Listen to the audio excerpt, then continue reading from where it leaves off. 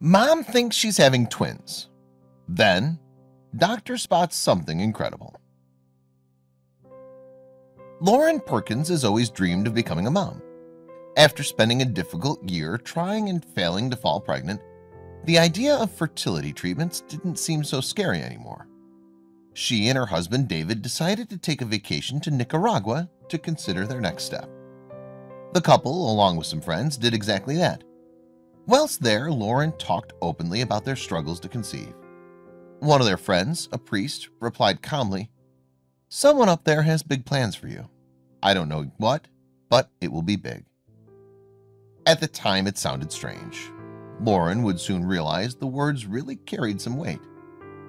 After the Nicaragua trip, Lauren returned home to Texas. She didn't think much about what the priest had said during the vacation. On the contrary, her and David had decided on one thing. They wanted to try out artificial insemination, the simplest method of assisted fertilization. Lauren was convinced that it wouldn't work, that she was destined to be barren. But it did. Lauren finally fell pregnant. In the first routine check, Lauren was told by nurses that her HCG levels were very high. This meant there was a strong possibility there was more than one child growing inside of her. Lauren and her husband were delighted at the idea that they might have twins or even triplets.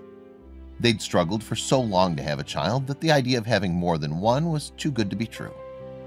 Then the ultrasound came. A staggered doctor studied the screen for a few seconds and delivered the shocking news.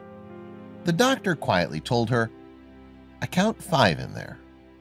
Lauren thought this was impossible. The doctor turned back to the screen and then continued, Wait a minute, I just found a sixth baby. The confused couple stared at the screen in complete shock. Six? Lauren and David were then faced with a difficult decision. Either they could reduce the amount of children or keep them all. The chances that all six babies would survive the pregnancy were low. To have six at the same time brings on a number of dangerous complications.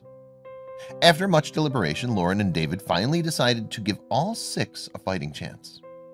Their doctors promised to do everything they could to ensure every baby was delivered safely.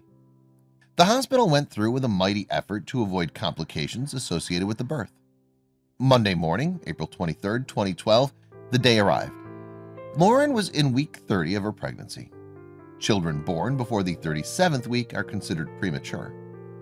A total of 35 people from the hospital gathered inside the delivery room. As the birth got underway, the doctor needed the help of six nurses standing by to receive each baby as it came into the world. No easy task, and certainly one rife with stress. I was nervous and excited all at once. It was starting to sink in that this was for real. I was going to have six babies, Lauren said. It took a total of four minutes to deliver all six. Andrew, Benjamin, Caroline, Leah, Allison, and Levi all weighed between one and two pounds at birth. Lauren said, I didn't expect to see my babies until the next day, but each baby's team rolled them by me one by one on their way to the NICU, and I got to touch their little fingers.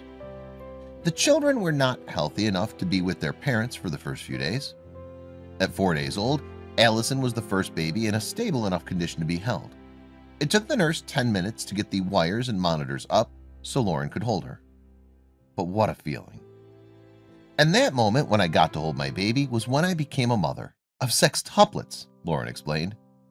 The first few weeks were crucial in the lives of their babies. Their parents still worried about complications that could potentially lead to disabilities or in worst case death. Fortunately, all six recovered slowly but surely. After many intense weeks of love and care from the staff in the neonatal facility, the family were able to hold all of their angels. Five of the babies were able to go home at four months old. Little Leah had to stay in hospital for an additional few weeks as she was the smallest and had struggled for space inside the womb. She was literally buried under everybody else in the womb, said Lauren, so she didn't get the right nutritional flow. Her brain was not fully developed. The family has had an abundance of support from loved ones, which has helped them immeasurably when it comes to getting through the hardest and most difficult of periods. Donations from others have also come in, both from family and complete strangers, touched by the birth and Lauren's story. Lauren, of course, has high praise indeed for all the medical staff involved. Without them, the children may never have been strong enough to go home. My doctor was the best, and I'm forever grateful to him for the level of care I received, Lauren says. Also, the NICU staff who put in hours upon hours getting our children ready to come home and teaching us the ins and outs of preemie care. So many of these people have a special place in our hearts and family. Only recently, Andrew Noah, Benjamin Luke, Caroline Grace, Leah Michelle, Allison Kate, and Levi Thomas celebrated their sixth birthday.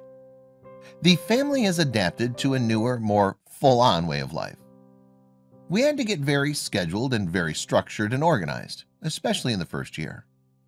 The boys, Andrew, Benjamin, and Levi, and two of the girls, Allison and Caroline, are perfectly healthy today.